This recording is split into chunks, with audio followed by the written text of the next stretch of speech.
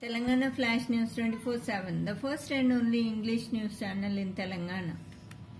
Late night headlines for today. Rajiv Gandhi International Airport Hyderabad bags World Number 1 Airport Award.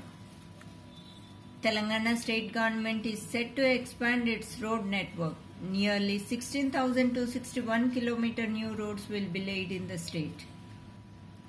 MIM distributes education kits to students of government Urdu medium schools. Irrigation Minister paid a surprise visit to Telangana Minority Welfare Residential School for Girls on Wednesday. Revanth will never leave TDP, says Lokesh. Railway stations in 15 cities likely to offer residential apartments to generate revenue. Thanks for watching. Please like, share, subscribe and comment.